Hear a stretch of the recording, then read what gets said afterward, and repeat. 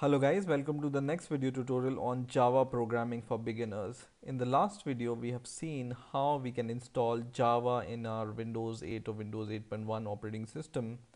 Same uh, will be the procedure for uh, installing Java on Windows 7 also. Now in this video, we will uh, see how we can install Eclipse IDE on our Windows operating system. Now IDE stands for integrated development environment which helps you to code your program so for example IDE is an editor which will help you to write your program and compile your program and Eclipse is one such IDE and most used uh, IDE in terms of Java development. So let's see how we can install Eclipse IDE on our Windows operating system. So first of all, open your uh, favorite browser and search for Eclipse IDE. And the first link hopefully comes here is www.eclipse.org. Just click this link here. And in here you will be able to see this download button. Click this download button. And in here you will be able to see different uh, uh, versions of uh, Java. So not different versions of Java, but different versions of Eclipse IDE. So Eclipse IDE uh, comes in different versions. For example, Eclipse IDE for Java developers, Eclipse IDE for Java EE developers, which is basically for uh, web development and uh, all such uh, programs there is uh, Eclipse IDE for C++ or PHP and other languages also. But right now we are interested in developing Java applications. So we will download uh, this first option which is Eclipse IDE for Java development. Okay? Now depending upon the system type of your computer if it's 64 bit or 32 bit you need to uh, download one of uh, these uh, zip files. So to check which system type you have you can just uh, search for system on your computer and and in system type you will be able to see that mine is 64 bit operating system but if you have 32 bit operating system you need to download uh, this thing. So I will click this Windows 64 bit and then it will uh, redirect me to the mirror uh, location which is nearer to my PC's location. So this is the nearest location to my PC but other mirror locations are uh, down so you can choose your uh, mirror location. I will click this link and then I will be able to save this uh, zip file so it's a zip file so don't be confused uh, that uh, it should be executable. It's not an executable file but it's a dot zip file. So I will wait for uh, this to download and once it will be downloaded we will see how we can configure Eclipse on our uh, Windows operating system so my download is complete now. Now I can uh, just open this uh, zip file. So I will just open this uh, zip file and I will minimize everything. And this zip file contains a folder called Eclipse. So uh, this zip file we are going to extract in our C folder. So I will just extract this to our C folder. Okay?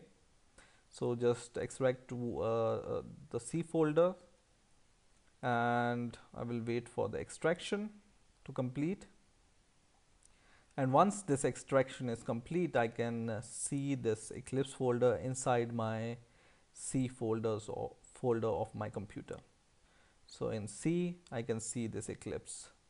And in here all the Eclipse files are extracted. Now in order to run this you can just double click this Eclipse icon and you can also create a shortcut uh, to it.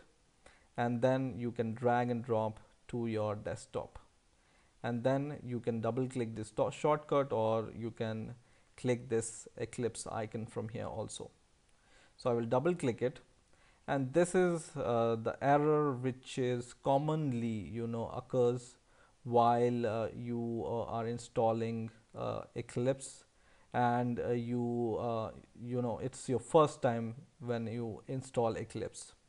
So don't worry. This error is J JVM terminated exit code is equal to 2 and this error comes generally whenever you have something uh, wrong configured in your path or environment variable.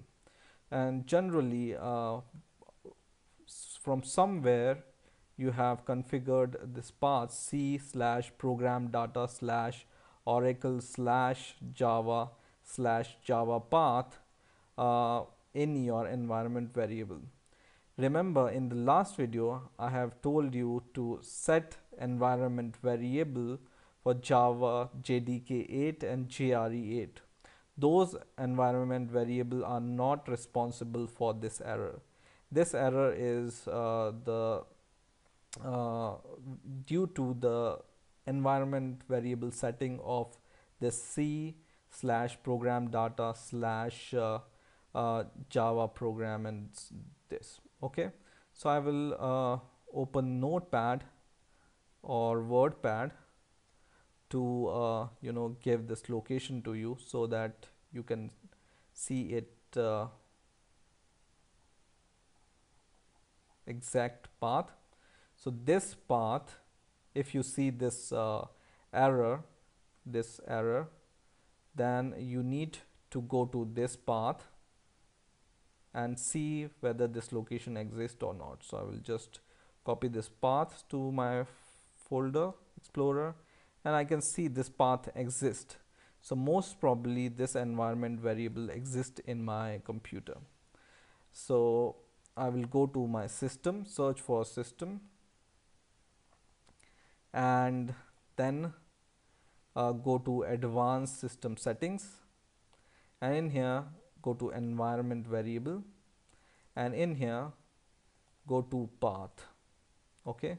And I can see directly here the first path is C slash program data slash oracle slash java uh, slash java path so just double click this path variable in system variable and you need to delete this uh, path which is wrongly configured right so just search for this path in your environment variable here. So I can easily find uh, this path. I can see that this path is there.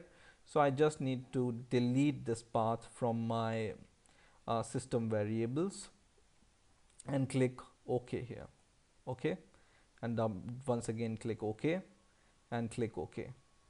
So once I have done that, I will be able to uh, run my Eclipse once again. So I will click uh, this Eclipse icon once again and now Eclipse runs. So I wanted to uh, you know intentionally uh, reproduce this error.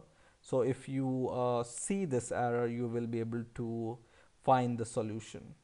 Now first for the first time whenever Eclipse starts on your computer, it will ask for the location where all your um, projects will be saved. And by default, it will be saved in C slash users in slash whatever your computer name is slash workspace. So by default, all your programs will be saved in this folder. If you want to change this folder, you can change it, but I will leave it as default for now. I will click OK and then Eclipse will open in some moment.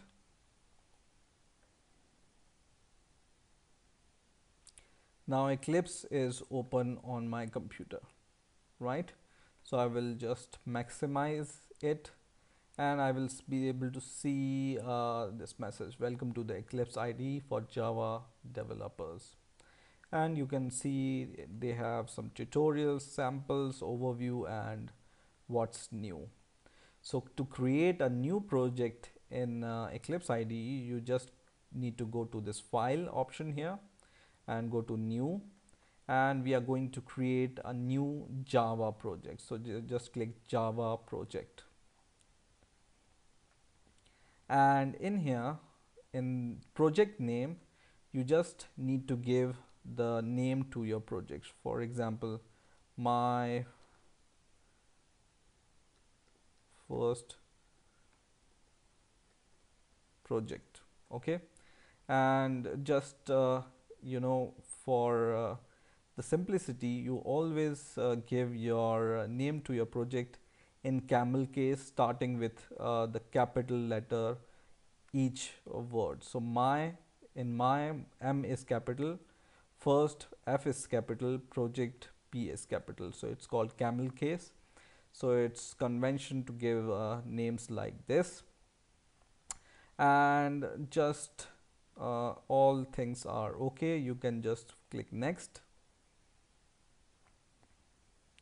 And in here you will be able to see that uh, this will be your project folder and it, in that there will be a source folder.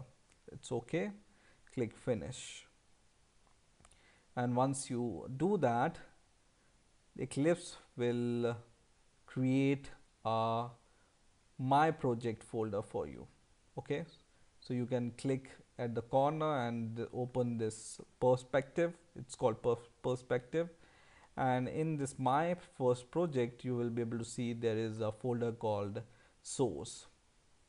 Now in this folder we can create a simple class.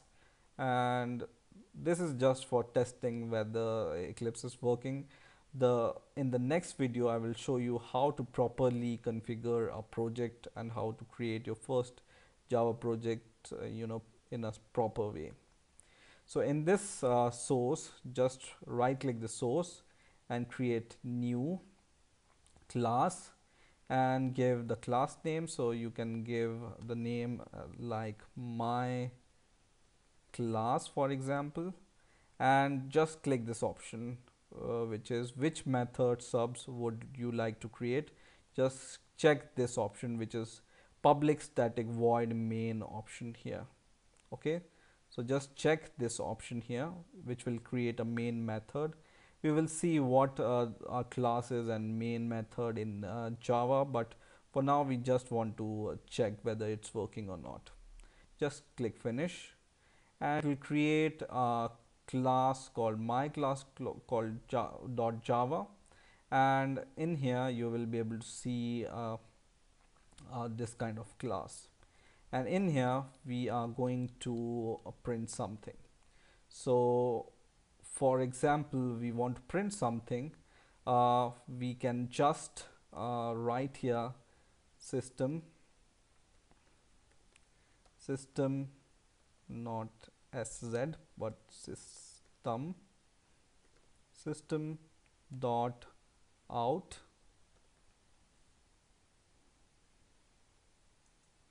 Dot.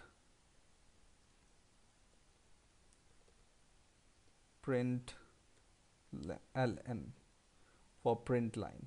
Okay? And in this print line we will just print hello world. So I will just print this but let me change it to my keyboard layout and we will print hello world okay? So I will explain this in detail but for now we will just check it. And then we are going to run this program. But first of all we will build this. So I will right click my project and I'm going to uh, for example run as Java application and then it will give me this uh, save and launch option I will click OK and now I can see hello world printed on the console here. So that means Eclipse IDE is properly configured in my system and I will be able to compile my Java program. So that's it for this video. In the next video, we will see how to properly uh, you know configure our first Java project and what are all these uh, you know names, classes and methods means in Java. So I hope you have enjoyed this video. Please rate, comment and subscribe and bye for now.